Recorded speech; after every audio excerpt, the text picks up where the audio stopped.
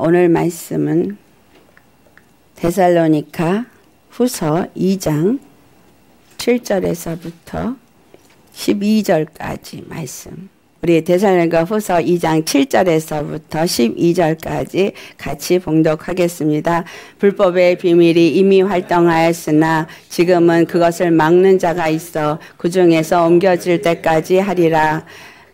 그때에 불법한 자가 나타나리니 주 예수께서 그 입의 기운으로 그를 죽이시고 강림하여 나타나심으로 패하시리라. 악한 자의 나타남은 사단의 활동을 따라 모든 능력과 표적과 거짓 기적과 불의의 모든 속임으로 멸망하는 자들에게 있으리니 이는 그들이 진리의 사랑을 받지 아니하여 구원함을 받지 못함이라. 이러므로 하나님이 미혹의 역사를 그들에게 보내사 거짓 것을 믿게 하심은 진리를 믿지 않고 불의를 좋아하는 모든 자들로 하여금 심판을 받게 하려 하심이라. 아멘. 말씀의 제목은 하나님께서 불법한 자들의 활동을 허락하신 이유 그 불법한 자들이 이 땅에서 활동을 하도록 하나님이 허락하셨다라는 거예요. 오늘 7절의 말씀을 보니까 불법의 비밀이 이미 활동하였으니 라고 하면서 여기서 비밀이라고 말해요. 불법자의 활동하는 것이 비밀이라고 말하고 있습니다. 비밀이라는 얘기는 드러나 있지 않다라는 얘기죠. 숨겨져 있다라는 얘기예요. 아무나 그것을 알 수 잊지 못하다. 이것을 우리가 비밀이라고 말하죠. 요한일서 4장 3절에도 그와 같은 말씀이 있습니다. 예수를 시인하지 아니하는 자마다 하나님께 속한 것이 아니라고 하면서 예수님께 속했느냐 아니냐 이걸 말하고 있어요. 그런데 여기서 적그리스도의 영이 나옵니다. 적그리스도의 영이 요한의 시대 때에 있었다 이 말이에요. 적그리스도가 오리라고 한 그 말을 너희가 들었거니와 지금 벌써 세상에 있느니라 라고 말합니다. 세상에 이 적그리스도가 이미 있는데 그들이 비밀리에 활동을 하고 있다 말이에요. 마지막 때에 적그리스도가 일어날 것이다라고 말을 하고 있죠. 그런데 적그리스도가 아직 안 나타났다고 생각하고 있어요. 그러면 이 데살로니가후서 2장 7절의 말씀과 또한 요한일서 4장 3절의 말씀을 가지고 볼 때 우리에게 드러나서 알려지지 않게 숨어져 있는 비밀처럼 활동을 하고 있다는 거예요. 그런데 이것은 이미 벌써 세상에 있다 그 말이에요. 언제부터? 바로 예수님이 계셨던 그때부터 또 세례 요한의 때에도 사도 바울의 때에도 계속해서 있었어요. 불법한 자들 이들은 계속 활동을 했는데 이들이 행한 모든 일들이 주님이 이것을 그냥 공개적으로 드러내서 하는 것이 아니라 은밀한 가운데 그 일이 일어나도록 하셨다라는 거예요. 계시록 17장 1절을 보면 음녀 얘기가 나와요. 음녀가 많은 물 위에 앉았다라고 말합니다. 5절을 보면 음녀가 바벨론이라고 표현되고 있어요. 이것이 비밀이라고 말해요. 그의 이마에 이름이 기록되었으니 비밀이라. 큰 바벨론이라. 구약에서 여러분 바벨론은 어떤 나라였어요? 왕성하고 강대한 나라가 되어지면서 이스라엘을 지배하고 큰 제국이 된 것이 바벨론입니다.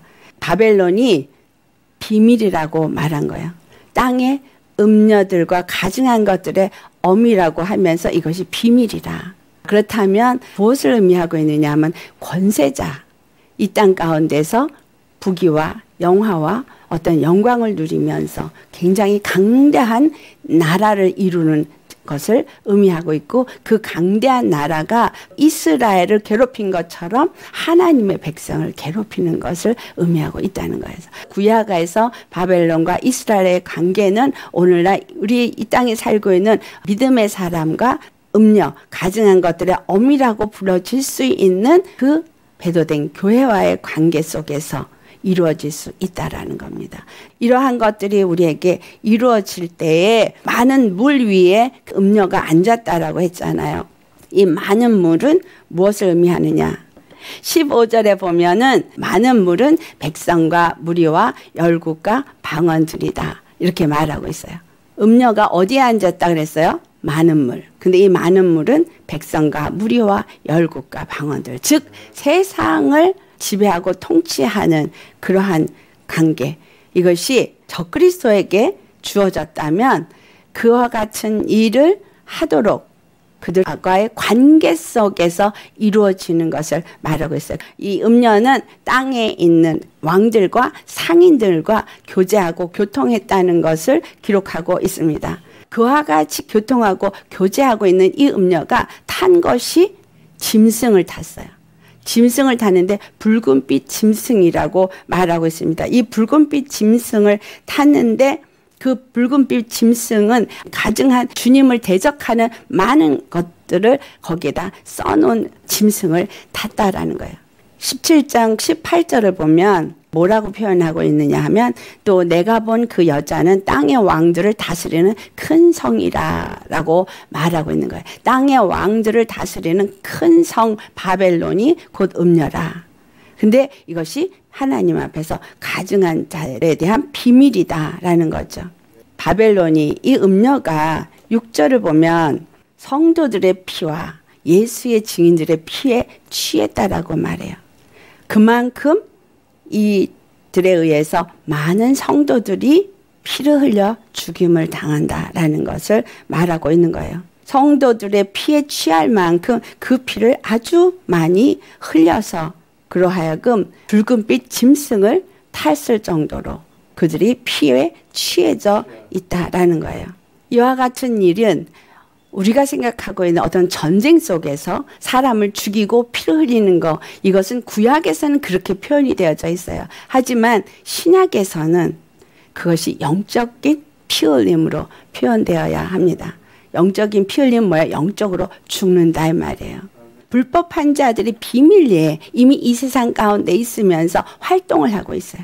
활동을 하는데 어떤 활동을 하냐고요? 어린 양의 피로 말미암아서 거룩함을 입은 성도들 예수 그리스도의 그 십자가를 증거하는 증인들의 피에 취할 만큼 그들을 무너뜨리는 일을 한다 그 말이에요. 끊임없이 그들을 죽이고 그들을 멸망시키려고 하는 일을 한 것이 우리 주 예수님이 이 땅에 오셨을 때 본 것을 비교해서 보면 알 수 있습니다. 예수님은 예루살렘에 입성을 하시고 그리고 그 상을 엎으면서 내 집을 강도의 구렬로 만든다. 그때 당시에 하나님 앞에 드려지는 제물이 집에서 내가 키운 것 중에 점도 티도 흠도 없는 것을 갖다가 하나님 앞에 드려야 하는데 그것을 돈을 주고 그냥 사서 제물로 바치는 일을 한 모습을 한 일례로 우리에게 표현하고 있는 거예요. 그만큼 그 당시에 하나님 앞에 예배를 드리는 자들이 변질되었다 그 말이에요. 마음이 없는 제사를 드린다. 이걸 표현하고 있는 거예요. 이것을 예수님이 뭐라고 표현해서 강도의 구렬로 만든다. 여러분 예수님 앞에 나올 때 여러분 자신은 지금 하나님의 영으로 말미암아서 새롭게 함을 받은 거룩한 성도요. 예수 그리스도의 피의 복음을 증거해야 될 증인인 건 맞습니다. 그렇죠? 그러면 과연 나는 지금 예수님을 믿으면서 어떠한 믿음의 삶을 살고 있느냐라는 것을 잘 생각해 보셔야 합니다. 불법의 비밀이 활동을 하고 있는 일은 그때 당시에 보면 이 바리새인들이 율법주의로 가르치고 설기관들이 성경의 구약을 갖다가 걸어다니는 성경이라고 할 만큼 지식이 뛰어나게 가르쳤어도 백성들에게 바른 것을 가르치지 못하고 있다라는 걸 알 수 있어요. 주님이 율법을 주신 것은 그들의 아, 어떤 행위로 하나님 앞에 제사를 드리는 걸 원한 것이 아니라 그 마음으로 주님을 사랑하는 것을 가르쳐 주기 위함이라는 거예요. 그런데 그들은 제사를 드리는 거에만 초점이 맞춰져 있는 것이죠. 오늘날 우리 예수 믿는 많은 분들이 교회 가서 예배를 드리는 거에 초점이 많이 맞춰져 있습니다. 또 사역자들은 사역에 초점이 많이 맞춰져 있어요. 부인할 수 없는 사실이에요. 그래서 예배를 드리면 된 거예요.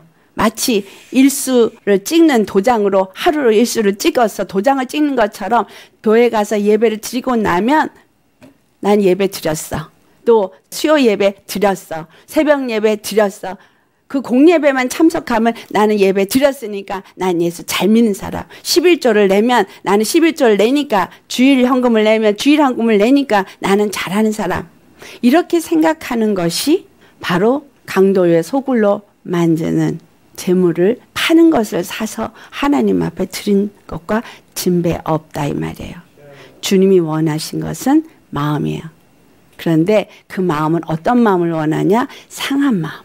통해하는 마음을 원하신다는 거예요. 이 말씀의 의미가 무엇을 의미하고 있어요? 예수 그리스도의 그 십자가의 보배 피가 아니면 나는 결단코 살 수 없다라는 고백이 우리 심령 속에 되어져 있어서 예수님 앞에 늘 나아갈 때 그 십자가의 은혜를 힘입고 그 피를 힘입고 주님 앞에 감사로 나아가며 주님 앞에 우리의 마음을 드리고 우리의 정성을 드리고 우리의 사랑을 드리는 예배로 나아가는 자가 되어야 하는 겁니다.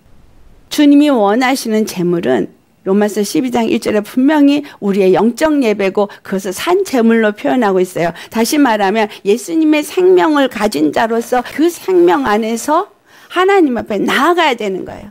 생명을 가진 자는 예수님을 그 안에 가진 자이기 때문에 주님 앞에 나올 때 예수님의 피를 보여주고 예수님의 생명을 보여주며 예배드리는 자를 말하고 있는 거예요. 주님 앞에 우리가 나아갈 때 내 심령이 예수님이 그 예루살렘 성에서 장사하는 자들의 상을 엎으면서 한 말이 기도하는 집이라고 말했거든요. 예수님의 영으로 우리가 인도함을 받아서 새 사람이 되었고 이제는 죄의 종이 아니라 의의 종이 되어서 주님의 길을 가는 자가 되었다면 이 집은 하나님의 성전인 거예요. 여러분, 여러분 자신 하나님의 성전인 거 맞죠? 하나님의 성전이고 이 성전은 기도하는 집이어야 한다는 말은 주님과의 예배 속에서 늘 교통되어지는 몸이다 이 말이에요. 그래서 성령이 우리 안에 오신 거예요. 성령이 우리 안에 오신 이유는 성령으로 하여금 우리가 늘 주님과 교제하고 교통하도록 오신 거예요. 기도함으로 주님 앞에 나아가고 주님께서 말씀을 주시는 것을 받아 먹고 그래서 오늘 우리가 이렇게 주일 예배를 드릴 때도 모든 예배가 그렇지만 주님 앞에 늘 기도로 나아가고 주님의 그 말씀을 받아서 내 심령에 채워서 말씀과 기도로 거룩함을 입는 것이 예배다 말이죠. 그런데 그 말씀과 기도를 나갈 때 기도가 어떤 기도자가 되어졌냐 하면 상한 심령으로 드려져야 되는 거예요. 자, 여러분, 재물을 가지고 하나님의 성전에 나아갈 때 그들은 재물을 왜 가져갔어요? 그 재물은 항상 죄를 깨달았을 때 가져가게 됐어요. 속죄 일날 속, 그 죄를 속함을 얻기 위해서 재물을 가져갔고 속건죄는 내 죄를 깨달아서 내가 뭔가 하나님 앞에 범죄를 한 것을 깨달았을 때 속건죄의 재물을 가지고 갔고 또 하나님 앞에 드리는 번제나 화목제나 이 모든 것들은 다 그 십자가의 예수 그리스도가 우리에게 흘리신 그 보혈의 의미와 똑같은 의미를 갖고 있을 때 내가 예수님의 그 십자가로 나아가는 이유는 예수님의 그 십자가만이 나의 죄를 사해 줬기 때문에 나는 그 예수님이 필요해서 그리고 그 예수님의 은혜를 입고 하나님 앞에 나아가는 것이고 내가 죄를 깨달을 때마다 그 십자가 앞에 나가서 회개함으로 그 회개를 통해서 또 주님 앞에 나아가는 것이고 내가 주님 앞에 온전히 화목하기 위해서 또 나아갈 때도 또 예수님 안에서 날 심령을 회개하고 또 주님 안에서 나아가는 것이고 그 모든 것이 예수님이 완전히 자기 자신을 번제로 들으시고 예수님은 완전히 화제로 주님 앞에 들여신 그것을 힘입고 우리가 나아가는 재물이지 다른 재물이 아니었다라는 거예요. 그래서 예수님 앞에 예배를 드리러 나오는 우리는 항상 어떤 심령이 되는 거예요? 죄를 깨닫는 심령, 그리고 죄를 회개하는 심령, 그래서 죄를 깨닫고 죄를 회개하고 예수님을 더욱더 사랑하고 예수님을 힘입고 주 앞에 나아가는 자, 그가 바로 재물을 하나님께 가져가는 자인 거예요. 그래서 예배드리는 우리의 마음가짐은 이와 같아야 되는데 그 율법주의자들이 어떻게 가르쳤어요? 그냥 양을, 염소를 파는 거를 사서 드리게끔 그렇게 가르쳤다는 거예요. 교회에 가서 헌금만 내면 무조건 축복받는 줄 알고 예배만 무조건 참석만 잘하면 믿음 있는 사람인 줄 알고 이렇게 들이대 마음은 다른 데 있게 만든 거. 정말 우리 심령이 예수님이 아니면 나는 산 자가 아니라 예수님이 아니면 나는 죽은 자이기 때문에 주님을 만날 수도 없고 죄 가운데 죽을 수밖에 없고 심판 가운데 놓일 수밖에 없는 자이기 때문에 나는 예수님이 필요하고 예수님이 없으면 안 되는 이 심령으로 주님을 간절히 찾고 기도하는 심령이냐 라는 겁니다. 어떤 마음으로 기도하느냐요. 내가 뭔가 필요하니까 그냥 주님 앞에 부르짖고 기도하는 것이냐 아니면 정말 예수님이 아니면 나는 살 수가 없기 때문에 그 생명이 아니면 안 되기 때문에 생명을 얻기 위해서 여러분 오늘 뭐를 위해서 오셨어요? 주일이니까 그냥 교회 오셨나요? 아니면 예수 생명을 먹지 않으면 그 생명을 받지 않으면 나는 살 수 없기 때문에 그 생명을 얻기 위해서 예수님 만나기 위해서 오셨나요? 아니면 그 예수님이 나에게 생명을 주셨기 때문에 나는 회개하고 나는 주님 앞에 두 손 들고 하나님의 영으로 하나님의 생명으로 살고자 내 마음을 드리고 내 정성을 드리고 내 사랑을 드리기 위해서 오셨나요? 이 불법한 자가 성도들을 피 흘리게 하고 예수의 증인들이 피를 흘리게 해서 결국은 무슨 일을 한다는 거예요? 영혼이 죽어가게 한다는 거예요. 영혼이 피를 흘린다는 건 생명을 잃어버리게 한다는 거예요. 거짓된 말씀으로, 잘못된 가르침으로. 그래서 점점 점점 예수님의 생명을 가져야 될 자들이 생명에서 있는 게 아니라 피를 흘려서 생명을 잃는 걸 말해요. 로마서 1장 17절에 복음에서는 하나님의 의가 나타난다 그랬어요. 그래서 믿음으로 믿음에 이르게 한다 그랬어요. 우리가 정말 예수 그리스도의 십자가의 복음을 가졌다면 우리는 의가 나타나야 되는 거예요. 예수님은 의가 나타나는 건그 생명이 나타나는 것이고 그래서 믿음으로 믿음에 이르게 한다는 것처럼 믿음이 자꾸 자라나야 되는 거예요. 생각이 바뀌어야 되는 거예요. 마음이 바뀌어야 되는 거예요. 삶이 바뀌어야 되는 거예요. 믿음에서 믿음에 이르도록 자라나도록 바뀌어야 되는 거예요. 그 다음 뭐라 그래요? 의는 믿음으로 말미암아 살리라. 내가 정말 그 복음으로 의롭게 되어지고 그 복음 안에서 내가 믿음으로 믿음에 이르는 의인이 되었으면 그러면 믿음으로 말미암아 살아야 되는 거죠. 항상 우리의 생각 속에는 믿음, 복음, 의, 예수님의 그 십자가가 나의 중심이 되어져야 한다라는 거예요. 이것이 안 되도록 다른 것들이 나를 움직이면 이것이 누가 하는 일이에요? 불법한 자가 하는 일인 거예요. 사람을 통해서 잘못된 가르침을 주는 것도 그 사람 안에 불법한 자의 영이 역사를 하는데 그것을 무슨 영이라고 그랬어요? 요한일서 4장 3절에 적그리스도의 영. 자, 왜 적그리스도라고 그래요? Antichrist. 그리스도하고 반대되는 일을 한다 이 말이에요. 예수 그리스도는 무슨 일을 하셨어요? 십자가를 길을 가셨어요. 아까 우리 찬송 부를 때 영광의 길을 가기 전에는 갈보리 길을 가야 된다 그랬죠. 갈보리 길 십자가 길을 가야 되도록 주님은 말씀하셨고 그래서 마태복음 16장 24절에 내 몫에 십자가를 지고 나를 따르지 않으면 내 제자가 되지 못한다고 분명히 말했기 때문에 우리 모두는 바로 자기 몫에 십자가를 지고 주님이 가신 그 길을 따라가야 되는 거예요. 믿음으로 믿음에 이르는 길을 가야 되는 거예요. 오직 믿음으로 사는 의인이 되어야 하는 거예요. 그런데 이것을 그렇게 하지 않도록 생각을 바꿔오는 거예요.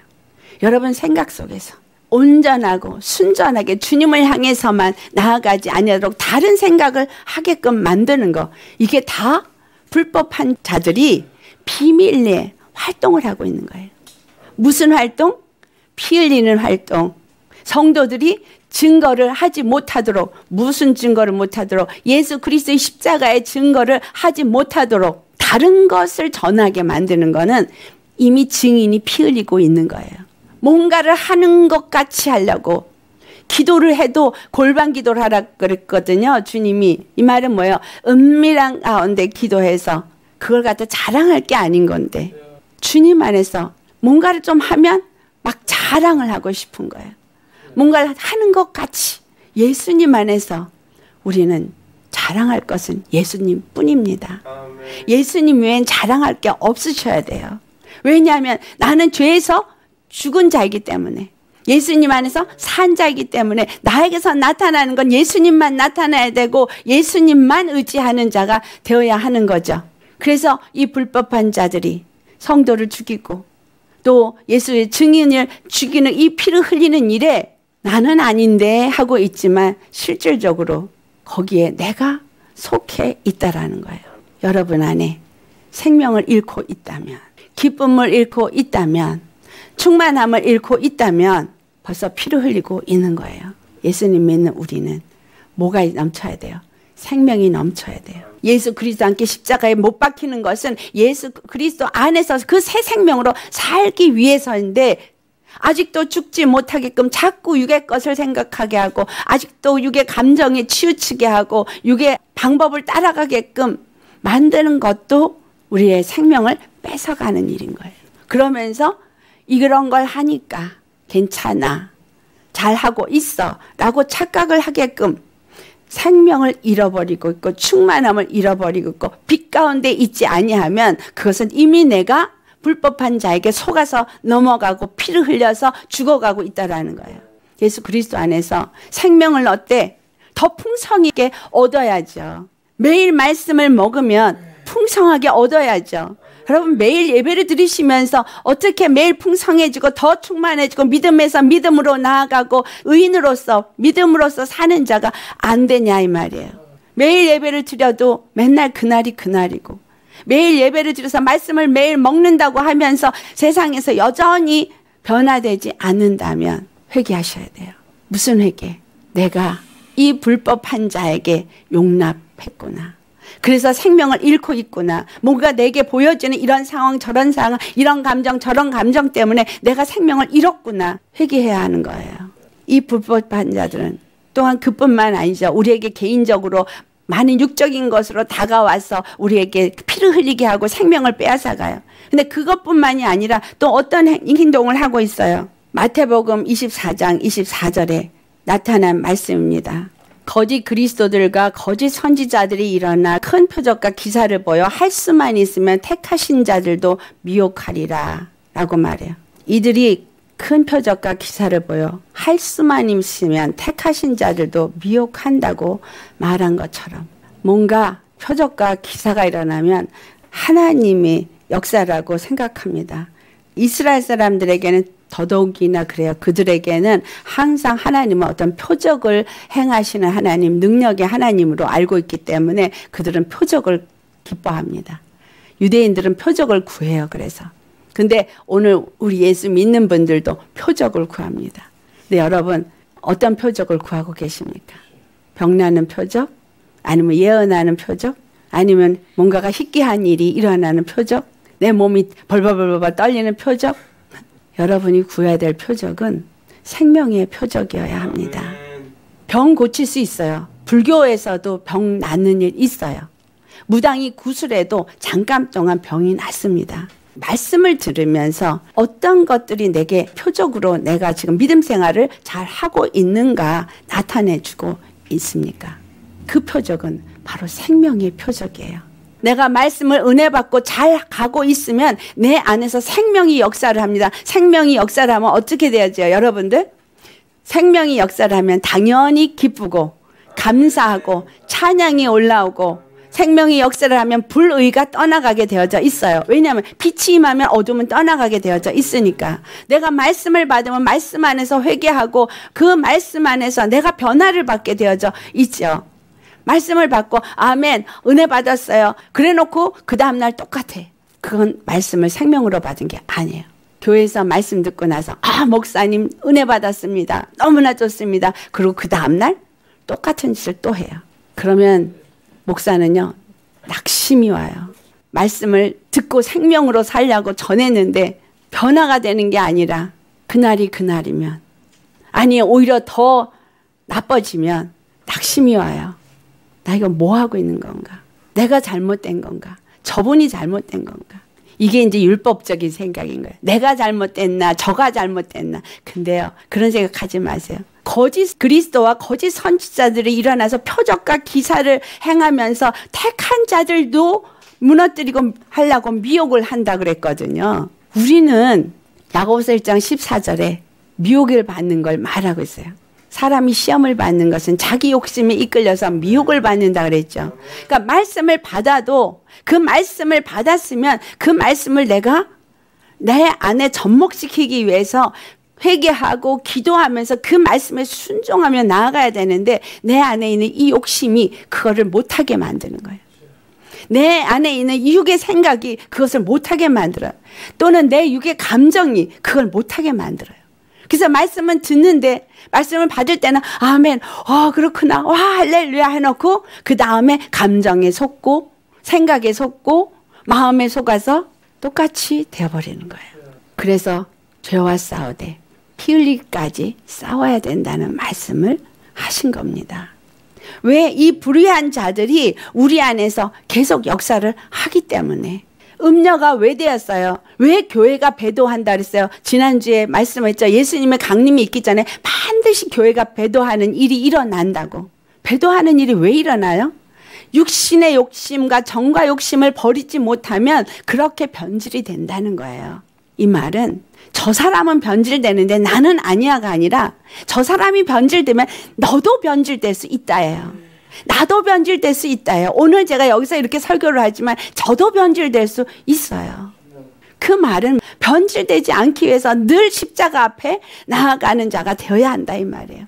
예배에 참석해서 말씀 듣고 주님 앞에 기도해야 되니까 기도하는 그 말이 아니라 뭔가 내가 필요하기 때문에 주님을 부르짖고 기도하는 게 아니라 예수님이 아니면 난 산자가 아니라는 믿음 안에서 예수님을 주로 모시는 자가 아니면 결단코 우리는 영생에 이룰 수 없다는 것을 안 자가 되어져서 철저하게 예수 이름을 부르는 자가 되어야 한다 그 말이에요. 이 불법한 자들이 이러한 활동을 통해서 택한 자일지라도 할 수만 있으면 미혹한다고 한다는 얘기는 웬만한 믿음 갖고는 이길 수가 없다는 거예요. 호시탐탐 노리고 있어서 내가 오늘 예수 믿고 있고 내가 오늘 잘하고 있다고 생각해도 내일 내가 넘어질 수 있다는 걸 말해주고 있는 거예요.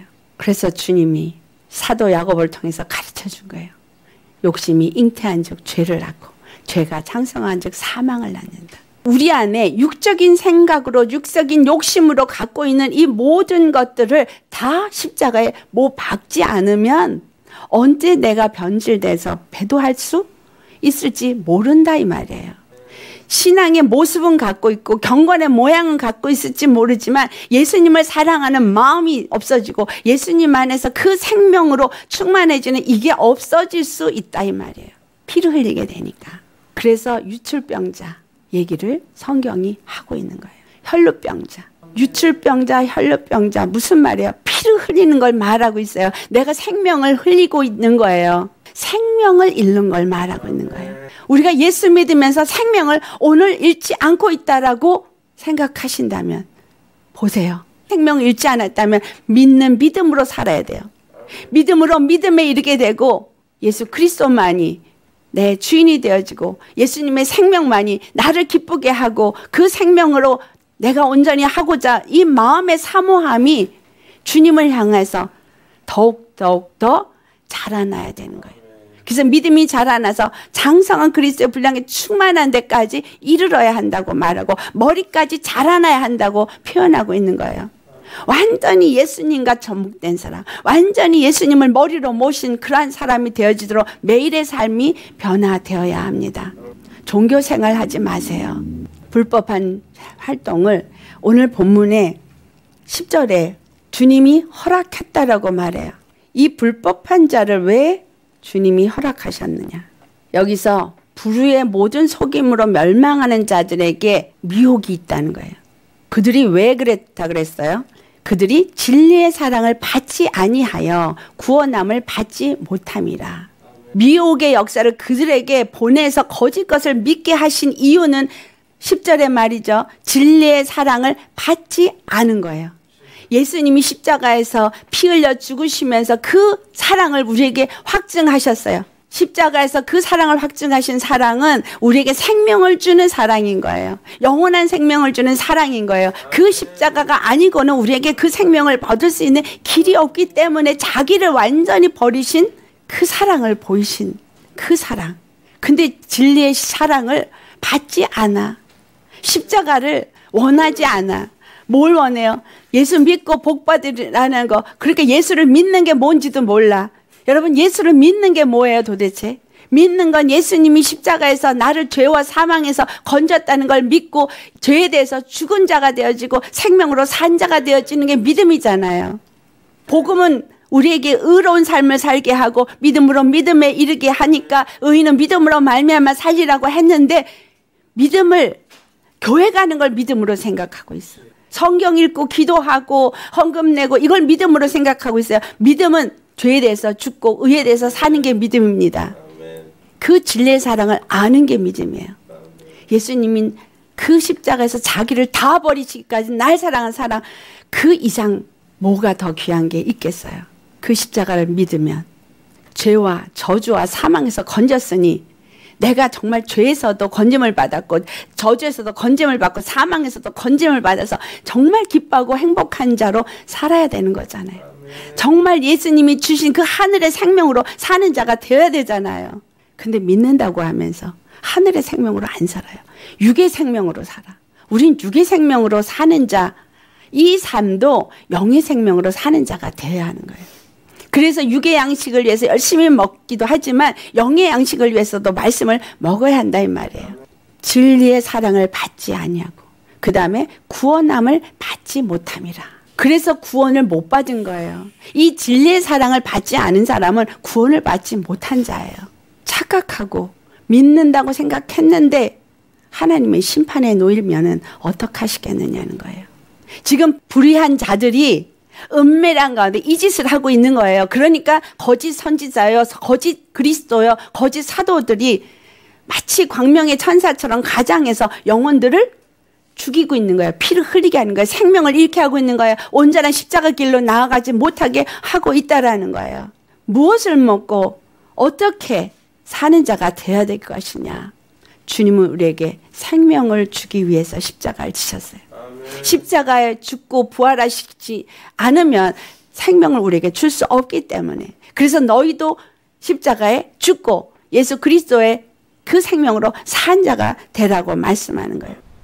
하나님이 미혹의 역사를 그들에게 보내신다고 말하죠. 미혹의 역사를 보내신대요. 왜? 그들이 거짓 것을 믿으니까.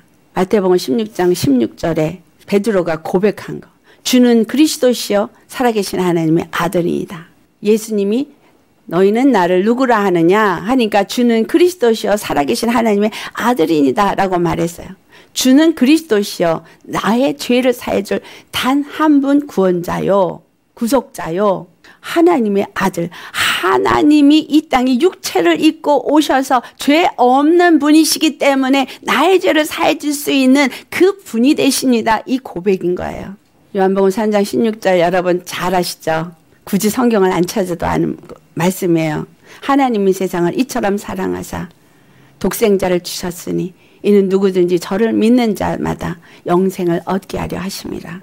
자, 근데 예수님이 이 땅에 오신 것을 17절에 하나님이 그 아들을 세상에 보내신 것은 세상을 심판하려 하심이 아니요 그런 말미암아 세상이 구원을 받게 하려 하심이라고 말해요. 세상을 심판하려는 것이 아니라 세상이 구원을 받기 위해서라는 걸 아담 안에서 다 심판에 놓이게 된 모든 사람들을 다 구원하기를 원하신다는 거예요. 그래서 믿도록 이 소식을 우리 귀에 들려주게 한 거예요. 진리를 듣게 한 거예요. 근데 진리를 듣게 하시고 진리의 사랑을 우리에게 받게 하여 주셨는데 이것을 듣지도 않고 들었음에도 받지도 않고 오히려 다른 것을 추구하고 따라가니 이 사람들은 진리의 사랑을 받지 않은 자요 구원을 함을 받지 못한 자인 거예요.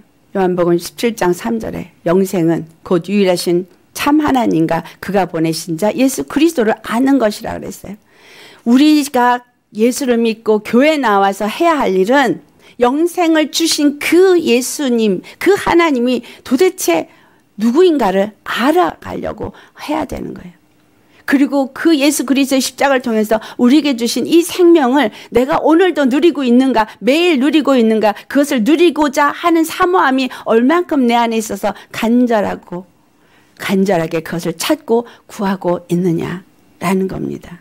그렇지 않다면 진리의 사랑을 받지 아니하고 구원함을 받지 못한 자가 되어져서 11절에 말한 것처럼 미혹의 역사를 그들에게 보내사 거짓 것을 믿게 하심은 하고 나서 그 다음에 12절 진리를 믿지 않고 불의를 좋아하는 모든 자들로 하여금 심판을 받게 하려 하심이라. 여러분 믿지 아니하는 자는 이미 심판받았다고 요한복음 3장 18절에 말하죠.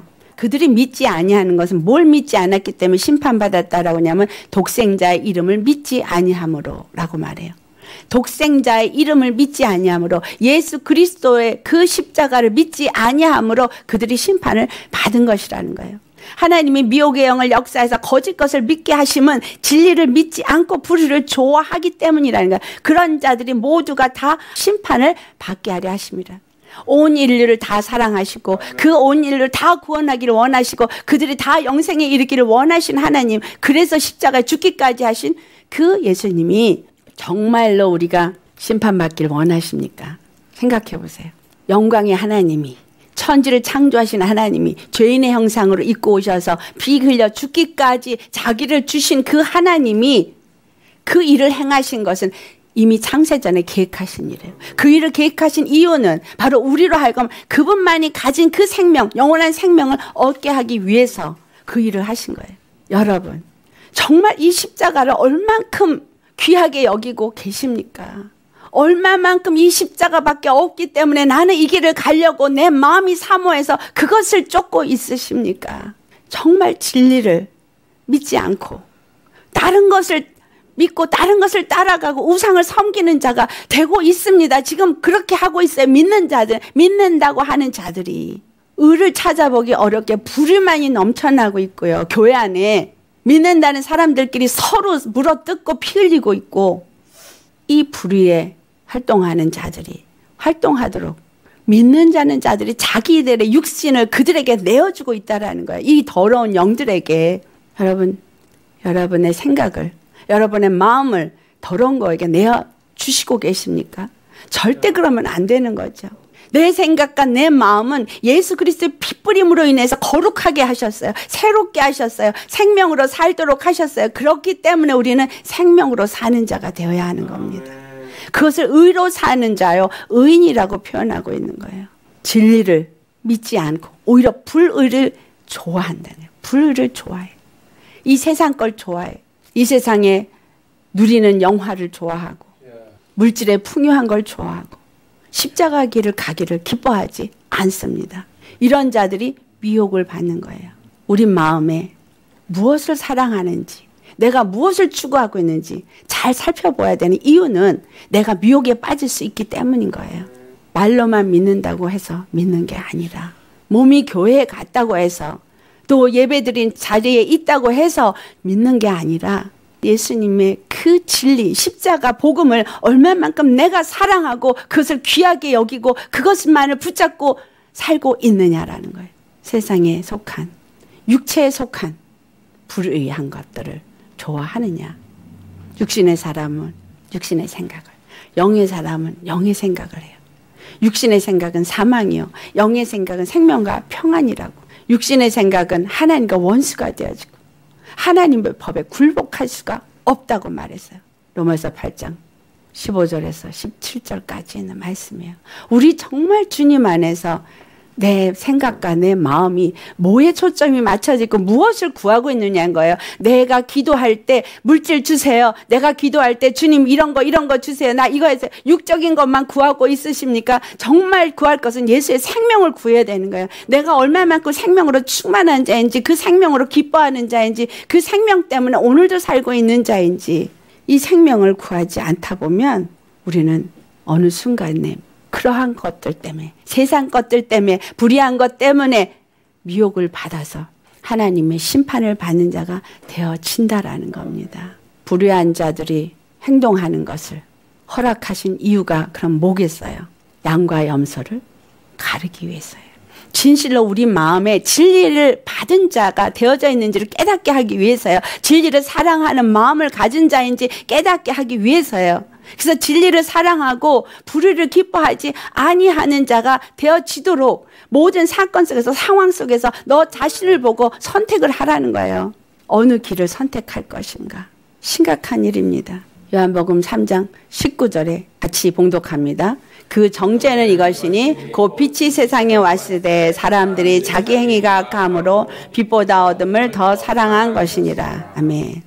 예수님이 그 땅에 왔을 때도 사람들은 예수님의 오병이어 이적을 쫓아갔고 치유하는 데만 좋아해서 따라다녔고 정말 예수님이 바로 그 약속하신 메시아로 오셨다는 것을 생각하지 않았다는 거예요.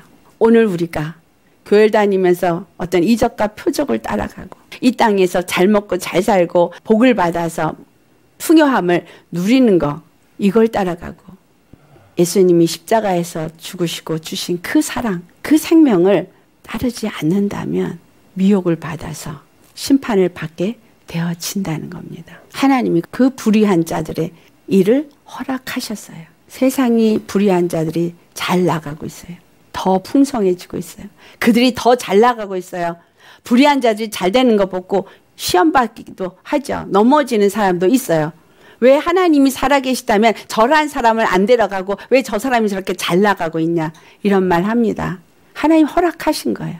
그걸 보고 넘어질 자는 넘어지겠지만 그러나 그 어떤 걸 보더라도 예수 그리스도의 십자가만을 사랑하고 예수님께 나오는 그 사람을 하나님은 택하길 원하신다는 거예요. 정말 그 진리의 사랑을 알고 그 진리를 사랑하는 자를 주님은 부르시기를 원하시는 거예요. 그 진리만을 사랑하고 그 진리를 따라서만 살기를 원해서 그 마음에 십자가의 구원만을 의지하고 나아가는 그러한 사람을 구원하기 원하신다는 거예요. 주님은 거짓 것을 허락하시고 거짓 것을 알게 하길 원하세요. 그런데 우리가 거짓 것을 어떻게 할 수가 있어요? 육으로 사는 사람은 성령의 일을 알 수가 없어요. 영으로 사는 사람만 알 수 있어요. 그러니까 이 시대에 우리가 정말 구해야 될 게 무엇이겠어요? 나는 영의 사람이 되어야 돼요. 나는 영적으로 눈이 떠져야 돼요. 생명이 내 안에 있고 있는가 나는 생명으로 사는 자인가를 열심히 돌아보면서 주님 앞에 간절히 구해야 될 것은 주여 성령을 내게 보내주셔서 아버지 내가 영적인 눈이 떠져서 이러한 거짓 것들을 분별할 수 있는 눈을 허락하여 주시옵소서 거짓 것들을 활동하게 두시는 것은 거짓 것들을 보게 하시기 위해서예요 보고 알고 분별하고 그걸 따라가지 않게 하기 위해서 두 가지입니다 믿는 사람들에게 그것을 보고 분별하고 따라가지 않고 십자가만이 참 것인 것을 알고 예수님만을 섬기는 자가 되게 하기 위함이요. 또 진리를 받지 아니하고 구원을 기뻐하지 아니하므로 자기가 더 어두움을 빛보다 더 사랑한 이런 사람들은 하나님이 심판을 받게 하기 위해서 미혹도 역사에서 이게 갈라지는 거예요. 양과 염소가 갈라지는 겁니다. 지금 우리가 살고 있는 이 시대는 양과 염소를 가르는 시대예요. 어떤 환란이 온다 할지라도 내가 흔들리지 않을 수 있는 믿음을 갖고 계십니다. 어떤 상황이 일어나도 내가 그 예수 생명 때문에 오늘 죽어도 살고 영원히 살 수 있는 자 되셨습니까? 정말 구해야 될 것은 예수 생명인 거예요. 그리고 그 다음 구해야 될 것은 분별할 수 있는 눈이에요. 들을 수 있는 귀예요.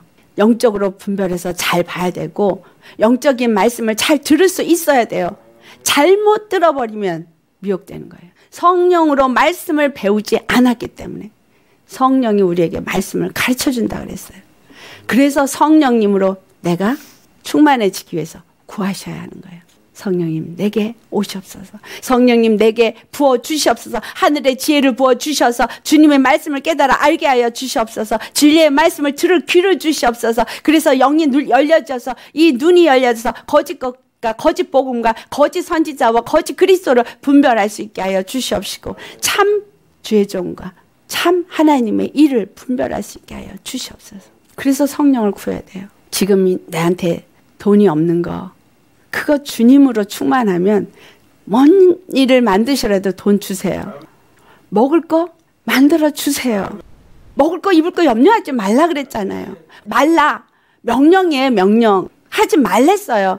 오직 나는 무엇을 하면 되냐 생명을 구하고 그 나라와 의를 구하는 자만 되면 된다는 거예요. 그 나머지 건 하나님이 주신다는 거예요. 초점이 어디에 맞춰 있느냐 그걸 말하고 있는 거예요. 초점이 육체에 맞춰 있습니까? 아니면 영에 맞춰져 있습니까? 진리를 믿지 않고 좋아하는 자들로 하여금 심판을 받게 하기 위해서 이와 같은 일을 하는데 어둠을 사랑하면 안 돼요. 오직 빛을 사랑해야 돼요. 그럴 때 골로새 3장 1절에 3절 말씀처럼 위의 것을 찾고 위의 것을 구하는 자가 되는 것입니다. 이 불법한 자들을 반드시 대사로니까 2장 7절 말씀에 옮기신다고 말했거든요.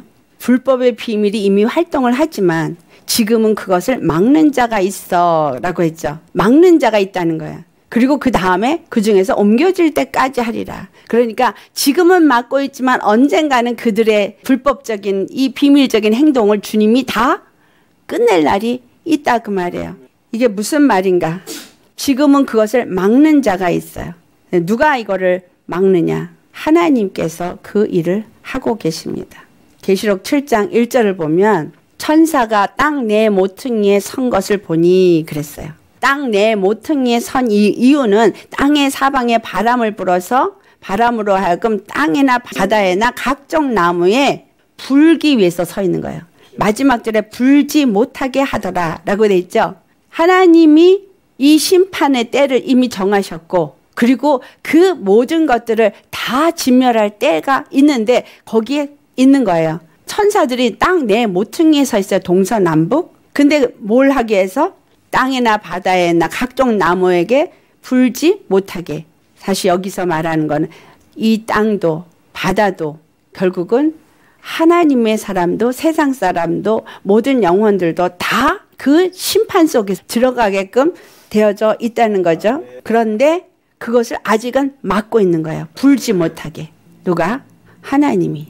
2절을 보면 같이 봉독하세요. 또 봄에 다른 천사가 살아계신 하나님의 인을 가지고 해도는 데로부터 올라와서 땅과 바다를 해롭게 할 건세를 받은 내 천사를 향하여 큰 소리로 외쳐 이르되 우리가 우리 하나님의 종들의 이마에 인치기까지 땅이나 바다나 나무들을 해하지 말라 하더라. 하나님의 종들의 이마에 인치기까지 땅이나 바다나 나무들을 해하지 말라고 말하고 있어요. 뭐 할 때까지? 인칠 때까지. 그러니까 하나님의 건지시는 영혼들이 있는데 어떤 자들이 건짐을 받느냐 하면 그 인을 받은 자들이라는 거예요. 여기서 인을 받는다는 건 예수 그리스도를 머리로 모신 자들 그들에게 인을 다 치고 다니시는 거예요. 지금 막고 있는 자가 있어 불법이 활동을 하지만 그것을 아직은 불법을 활동하도록 두었다라는 거예요. 그 활동을 하도록 두는데 그 가운데 두 가지 일이 일어난다는 거예요. 거짓 것을 좋아하는 자들은 미혹을 받는 쪽으로 예수 그리스도의 십자가를 향해서 나아가는 자들에게는 인침을 받는 쪽으로 확실하게 인을 치는 거예요. 완전히 새긴다 이 말이에요. 도장을 새기는 거예요. 여러분 심령에 머리에 예수님으로 도장을 새기시고 계십니까? 말씀으로 인을 치고 계십니까? 오직 예수, 오직 십자가, 예수 생명, 이거로 여러분 스스로가 인을 쳐지고 있느냐 이거죠. 예수님의 말씀을 받고 이 말씀이 내 안에서 이와 같이 인을 치도록 성령이 역사를 하고 있고 천사가 그 일을 한다는 거예요. 두 가지 일이 일어나고 있는 거예요. 미혹을 받는 자와 인침을 받는 자. 선택을 하세요. 나는 살아나 죽으나 예수 그리스도만을 주로 섬기리라. 나는 오직 믿는 믿음으로 사는 의인의 삶을 살리라. 그래서 내 몫에 십자가를 지고 예수님이 가신 그 길을 나 따라가리라. 내 안에 생명이 있는가 없는가 이거를 추구하면서 매일매일 나는 살기 위해서 작정하고 결심하고 나아가는 자는 하나님이 천사를 보내서 인을 쳐주는 거예요. 하지만 이후에 반드시 뭐가 있어요? 진멸의 역사가 있습니다. 인을 받는다는 이 의미가 하나님이 의로 인쳐서 의인이라 도장을 찍어주는 거예요. 그런데 이 하나님의 의는 우리에게 능력입니다. 제가 말씀드렸죠. 이 의가 능력이라고 불의가 결단코 가까이 올 수 없기 때문에 그래서 이 십자가가 하나님의 의요 십자가가 하나님의 능력이요 이것이 내 안에 능력이 되어져서 이길 수 있다는 거예요. 이 믿음을 가지면 이 의를 가지면 이 생명을 가진 자는 모든 걸 능히 이길 수 있다 이 말이에요. 다른 걸 가지면 안 돼요. 십자가의 믿음, 진리를 아는 믿음, 그 십자가를 사랑하는 사랑의 마음을 가진 믿음. 그런 자는 주 안에서 이와 같이 하나님의 능력을 가진 자들은 이 불의한 자들을 다 진멸할 그날이 온다 할지라도 그들은 인을 쳤기 때문에 하나님이 딱 보호해 주십니다. 아멘. 보호해 주셔요. 두려워할 것이 없습니다. 중요한 건 뭐예요? 지금 이 시대에 내가 무엇을 추구하면서 사느냐. 이게 중요한. 이 불을 허락한 것. 이 불법한 자들을 허락하신 이유. 바로 나를 확실한 믿음으로 나아가게 하기 위함이라는 거예요. 확실한 믿음. 하나님 앞에 보이세요. 이 불법한 자들은 언제는 옮겨지게 되어져 있어요. 반드시 옮겨지게 되어져 있습니다. 아멘. 심판은 그들에게 정해진 것이에요. 그 심판에 우리는 들어가면 안 되잖아요. 죄와 왜 싸워야 돼요? 지옥에 안 갈래니까 싸워야 되는 거예요. 예수님이 그렇게 귀하게 피를 흘려 주셨는데 내가 마귀에게 속아서 그들을 용납하면 되겠느냐 이거죠. 안 되죠. 이들이 어떻게 심판을 받나 우리 계시록에서 한번 찾아보겠어요. 계시록 17장 16절을 보면 짐승이 어떤 짐승이에요? 이 짐승? 음녀가 탔던 짐승이에요. 음녀가 탔던 붉은빛 짐승인데 이 짐승이 음녀를 미워해서 망하게 한대요. 벌거벗게 하고 그의 살을 먹고 불로 아주 사른다고 되어져 있어요. 짐승을 타고 그 짐승 위에서 영화를 누리면서 좋아했던 음녀가 이 짐승에 의해서 망하게 되어지고 죽게 되어져요. 이 땅에서 배도하고 세상과 타협해서 세상의 것으로 영화를 누리고 세상에서 영광을 누린 사람들이 세상에 의해서 죽임을 당한다 이 말이에요. 그러니까 이 세상 것으로 잘 나가고 있다고 좋아할 게 하나도 없는 거예요. 교회 목사가 그 세상 걸 좋아하다가 숨겨져서 잘 누리고 했어요. 근데 나중에 어떻게 해요? 세상이 다 까발려져서 세상이 그 사람을 그냥 화살을 쏴대잖아요. 어디까지 쏴대요? 땅 바닥에 처박히도록 쏴대잖아요. 결국은 세상 걸 좋아하다가 세상에 의해서 망하는 거예요. 그 다음 말씀 보면 계시록 17장 17절 이는 하나님이 자기 뜻대로 할 마음을 그들에게 주사 한 뜻을 이루게 하시고 그들의 나라를 그 짐승에게 주게 하시되 음녀가 가졌던 모든 영화를 다 짐승이 갖게끔 하나님이 허락하십니다. 하나님은 선, 악 모든 것을 다 다스리시는 주권자시죠. 믿는 자든 믿지 아니하는 자는 하늘이나 땅이나 다 하나님 앞에 다 속해 있고 하나님의 통치권 안에 있어요. 하나님의 때에 하나님이 일을 하시는데 하나님이 자기 뜻대로 할 마음을 그 짐승들에게 주었다는 거예요. 짐승들 666이라고 말하는 적그리스도와 거짓 선지자와 이런 자들이 다 결국은 세상 임금에 의해서 무너지게 되어져 있는 거예요. 한 마음을 주고 그들의 나라를 그 짐승에게 주어서 그러니까 이 세상이 완전히 다 그러한 자들의 마귀에게 속한 자들에게 넘어가서 하나님의 말씀이 응하기까지 하신다라고 말하고 있어요. 하나님은 모든 천지 만물을 말씀으로 지으셨죠. 근데 이 동일한 말씀으로 이 세상도 불살른다고 베드로후서 3장 7절에 말하고 있어요. 하나님이 시작을 하셨으면 하나님이 끝을 내십니다. 그래서 나는 알파와 오메가라. 처음과 나중이라. 시작과 끝이라는 말. 예수님이 그 모든 일을 시작하셨고 예수님이 그 모든 일을 마치실 때 악한 자들은 심판으로 예수 그리스도 안에 속한 자들은 영생으로 영생과 영멸로 분명히 나누어집니다. 그래서 우리가 알아야 될 것. 어떤 사람이 되어야 마땅하겠는가? 이러한 시대에 정말 나는 어떠한 사람이 되어야 되겠습니까? 베드로 후서 3장 10절 주의 날이 도둑같이 온다 그랬어요. 그 도둑같이 올 때에 뜨거운 불에 풀어져 땅과 그 중에 있는 모든 것들이 다 드러나리로다.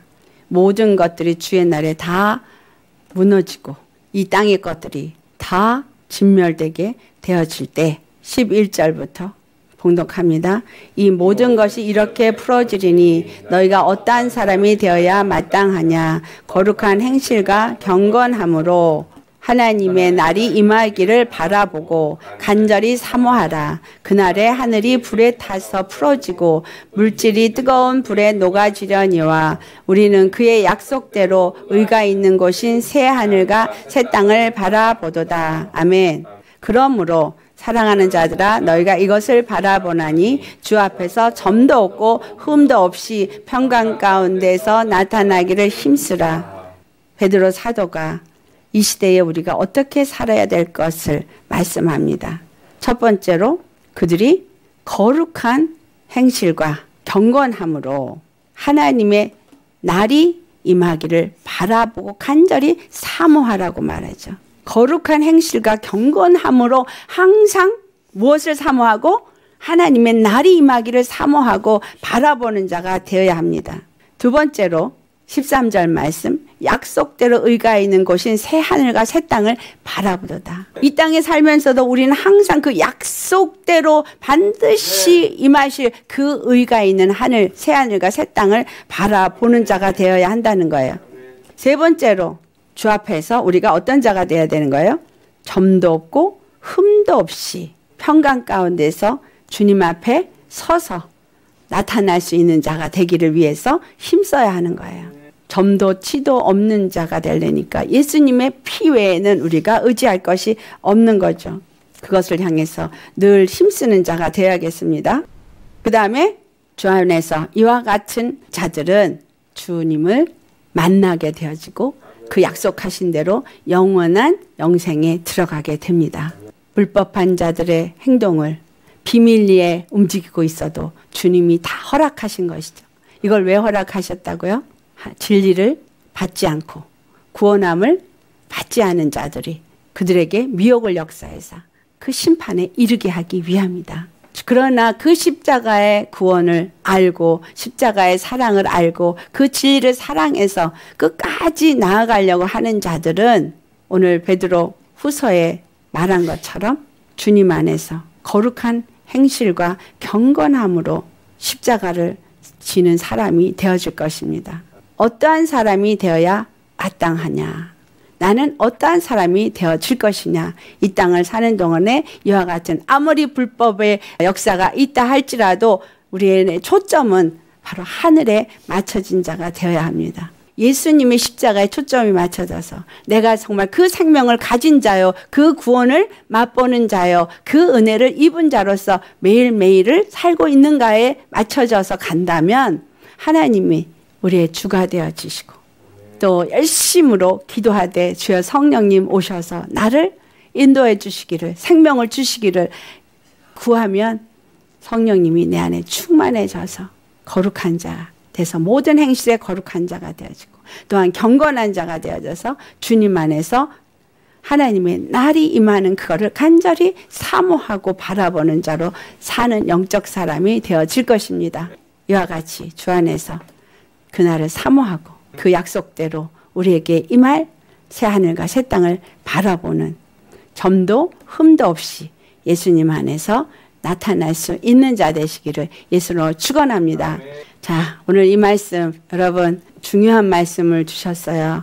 이 말씀 받은 대로 우리 다 같이 주님 앞에 간절히 구하겠습니다. 정말 나는 어떤 자가 되어야 마땅하겠는가 주님 앞에 기도하겠습니다.